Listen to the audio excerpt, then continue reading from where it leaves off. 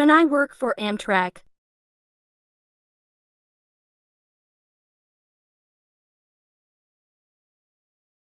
I rack on the Sunset Limited. Galaxy Railways paint job. Nickel plate road paint job.